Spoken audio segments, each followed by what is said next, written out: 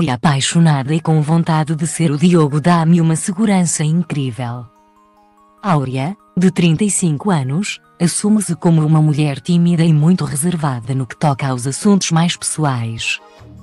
No entanto, embora tenha sido parca em palavras, não hesitou em falar do amor que sente pelo ator Diogo Martins. De 30 anos, com quem vive uma relação há cerca de dois anos. Estou calminho, o Diogo trouxe-me isso, ele é estabilidade e tem muita força. Dá-me muita força, dá-me uma segurança incrível, puxa-me muito para a frente. Revelou numa conversa com Manuel Luiz Goxa para o programa da TVI Conta-te. Emitido esta tarde, dia 26. Já passei por muito coisa, já caí, e finalmente estou numa fase mais calma. Mais estável, que eu gosto, prosseguiu, mostrando-se apaixonada. A artista revelou que os dois se complementam.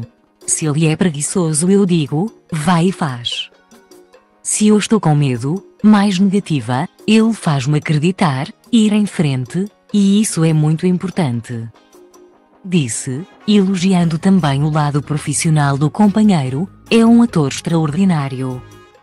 Áurea também foi questionada sobre se faz parte dos seus planos ser mãe. Faz.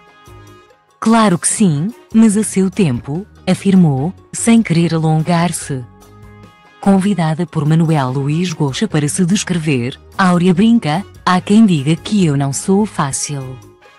Eu acho-me um amor. E descreveu aqueles que considera serem os seus defeitos, quem me conhece melhor sabe que tenho coisas complicadas.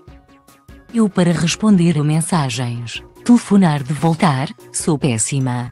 Não gosto muito de falar ao telefone. Tanto com amigos, como com família, é um defeito. Gostava de estar mais ligada cá aos meus e deixo-me consumir com o trabalho.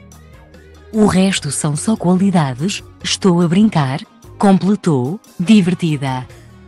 Leia também. Áurea posa-se em biquíni em Cabo Verde.